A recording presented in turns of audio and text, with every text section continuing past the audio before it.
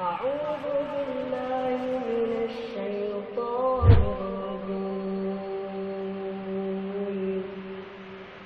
بسم الله الرحمن الرحيم. ألف لام ميم. تلك آيات الكتاب الحكيم. هدى ورحمة للمحسنين. الذين يقيمون الصلاة ويؤتون الزكاة وهم بالآخرة هم يوقنون.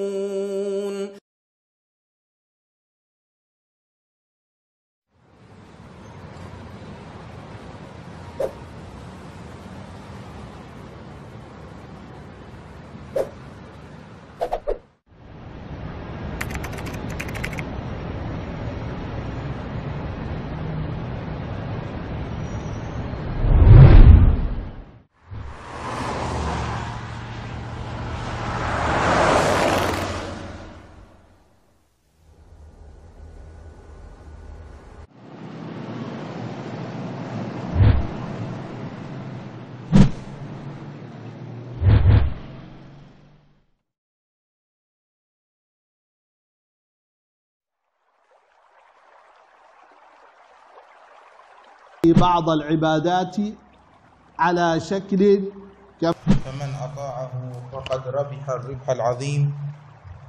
هذه مجالس تفسير الجزء عنا وكنا قد وقفنا. عند الله عز وجل مراقبة الله.